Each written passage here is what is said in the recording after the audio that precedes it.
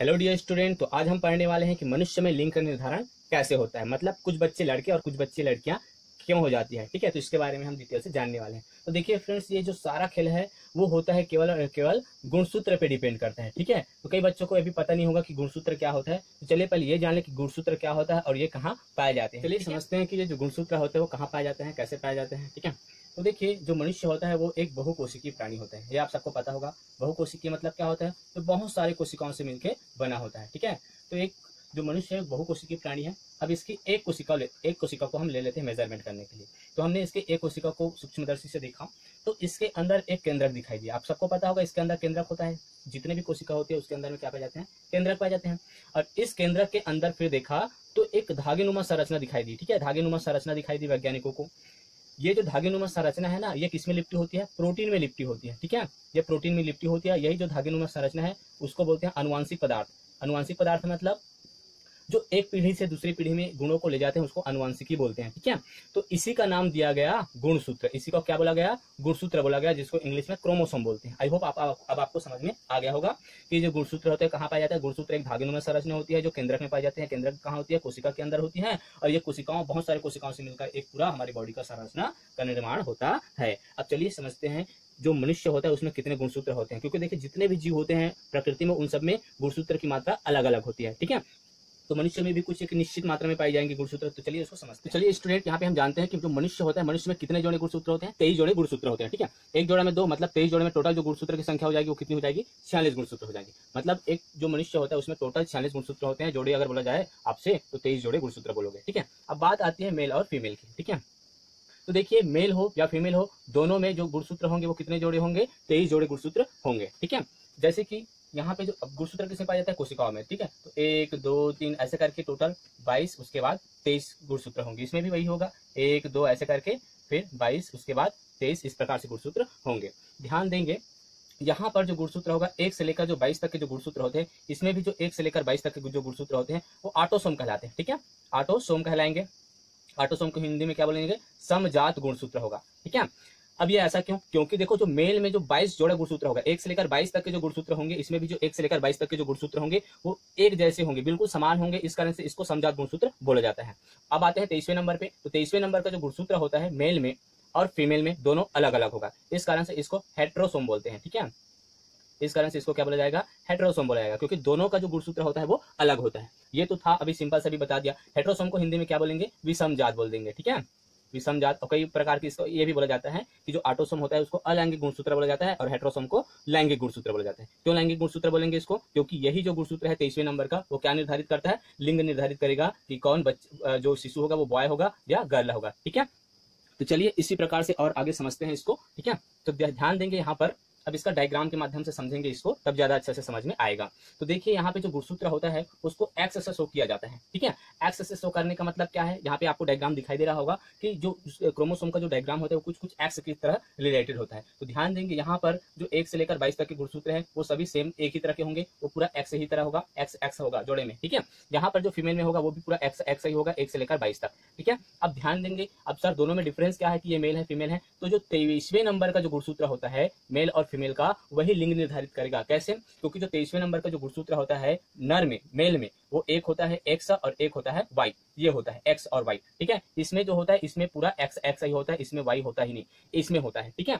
इसमें कहने का मतलब एक से लेकर तेईस तक जितने भी गुणसूत्र होंगे वो पूरा एक्स एक्स ही रहेगा। इसमें एक से लेकर पैंतालीस तक जो गुणसूत्र होंगे उसमें तो एक्स रहेगा, लेकिन जो छियालीसवें नंबर का जो गुणसूत्र होगा, ये वो वाई होगा, ठीक है? यही वाई है जिसके कारण से मेल और फीमेल का यहाँ पे डिफरेंस होता है। अगर ये वाई नहीं रहता तो सभी जो होते हैं सभी मनुष्य क्या होते, सभी मनुष्य जो होते फीमेल होते गर्ल होते, ठीक है?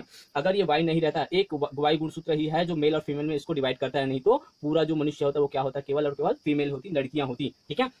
तो ये वाई जो है बहुत ही ज़्यादा इंपॉर्टेंट गुणसूत्र है, ठीक है? ये बहुत इंपॉर्टेंट रखता है। तो आई होप आपको यहाँ तक समझ में आ गया होगा कि आटोसोम क्या है यहाँ पे। तो ये देखो, एक से लेकर बाईस तक, एक से लेकर बाईस तक दोनों के जो गुणसूत्र होंगे बिल्कुल समान होंगे, इसको आटोसोम बोलते हैं। अलैंगिक गुणसूत्र बोले जाते हैं और जो तेईसवें नंबर का जो गुणसूत्र होता है उसको लैंगिक गुणसूत्र बोलते हैं, क्योंकि यही जो गुणसूत्र है वो मेल और फीमेल में डिवाइड करता है, ठीक है? अब चलिए इसको आगे समझते हैं। अच्छा इसमें एक और एग्ज़ाम्पल दे दूँ। तो यहाँ पर देखिए आपको समझ में आ रहा होगा कि यहाँ पर जो है पैंतालीस प्लस एक इज़ इक्वल टू कितना होगा? टोटल छियालीस जिसमें से पैंतालीस जो गुणसूत्र होगा, वो क्या होगा? एक्स गुणसूत्र होगा, प्लस जो एक गुणसूत्र होता है, वो कैसा होता है? वाई होता है। Is equal to X Y जो होता है जो तेईसवें नंबर का जो जोड़ा होगा, वो क्या होगा? एक्स वाई होगा, ठीक है? क्योंकि यहाँ पे वाई है। अब देखिए, इसमें जो 46 के जो 46 गुणसूत्र होंगे, वो पूरा क्या होंगे? पूरा एक्स होगा। पूरा पूरा क्या होगा? इसमें एक्स होगा और इसमें जो 45 गुणसूत्र होगा, वो एक्स होगा और केवल एक गुणसूत्र होगा, वो क्या होगा? वाई होगा। अगर ये वाई गुणसूत्र नहीं होता अगर ये वाई गुणसूत्र नहीं होता तो जितने भी मनुष्य है वो पूरा क्या होते? फीमेल होते, पूरा जो होती लड़कियाँ होती, ठीक है? तो यहाँ पे जो वाई गुणसूत्र की बहुत भूमिका होती है, जो केवल किसमें पाई जाती है? पुरुषों में, मनुष्य में पुरुषों मतलब नर में मेल में पाई जाती है। यदि ये नहीं रहता तो सभी क्या हो जाती है? लड़कियाँ हो जाती है। तो मुख्य जो निर्धारित करने वाले जो गुणसूत्र है, वो किसके पास है? मेल के पास है, ठीक है? तो आई होप आपको यहाँ तक बात समझ में अब इसको यहाँ से समझते हैं। ये मेल है, नर है, ये फीमेल है, मादा है, ठीक है?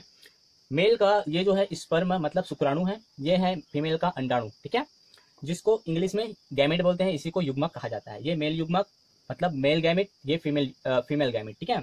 नर युग्मक क्या होता है? शुक्राणु, ये शुक्राणु है।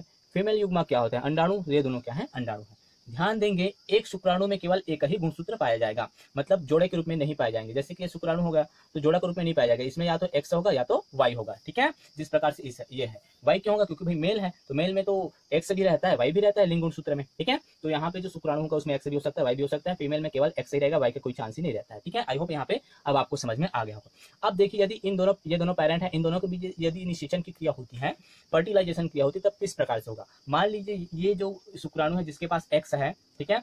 ये फीमेल के एक्स वाले अंडाणु के साथ, अब एक्स वाला क्या? दोनों ही एक्स है तो कोई भी, है ना? अंडाणु के साथ क्या करता है? निषेचन क्रिया करती है। तो यहाँ पे जो युग्मनज बनेंगे, क्योंकि ये जो बनता है वो युग्मनज कहलाता है, साइड में लिख दूँगा। तो यहाँ पे जो जाइगोड बनेगा, वो कैसा होगा? तो इसका एक्स रहेगा और इसका एक्स रहेगा, ठीक है? अगर यही, ये जो है, इस वाले के साथ यदि निषेचन क्रिया करती है, इस वाले अंडाणु के साथ, तब क्या होगा? इसका एक्स रहेगा और इसका भी क्या रहेगा? एक्स रहेगा, ठीक है? यदि देखो, मेल का जो ऐसा शुक्राणु जिसके पास वाई गुण सूत्र है, वो यदि निषेचित करता है, इसको, इस अंडाणु के साथ निषेचन क्रिया होती है।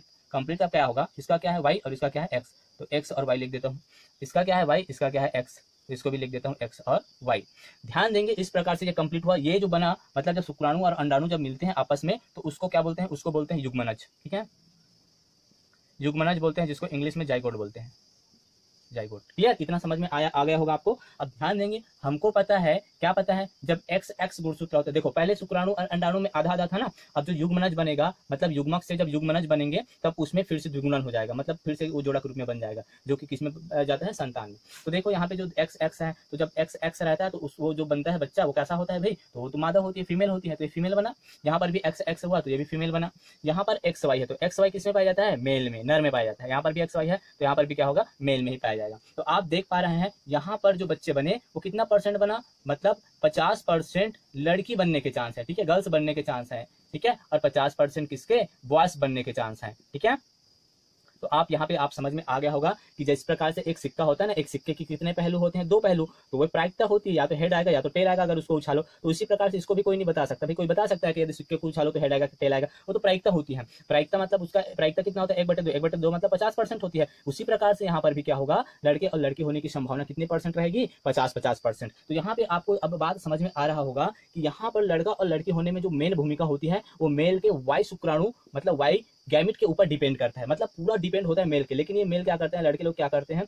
दोष मतलब महिलाओं को देती है यदि वो बार बार यदि लड़की हो तो इसी को दोष दिया जाता है। लेकिन इसका कोई गलती नहीं, इसका कोई रोल ही नहीं होता। जो होता है ना लिंग सूत्र पे डिपेंड वो पूरा मेल का ही होता है। क्योंकि किसी के पास है भाई तू अपना वाई देगा तभी तो ये लड़का पैदा करेगा। अब वाई ही नहीं देगा तो कहाँ से पैदा करेगा? अब आई होप आपको ये बात समझ में आ गया होगा। तो तो इसी प्रकार यदि कोई डाउट होगा इसमें तो आप बिल्कुल कमेंट में पूछ सकते हैं। तो इसी प्रकार से नए नए वीडियो अपलोड करता रहूँगा। तो यदि आप मेरे चैनल पर नए तो प्लीज़ मेरे चैनल को सब्सक्राइब करें, अपने दोस्तों के साथ शेयर ज़रूर करें। Thanks for watching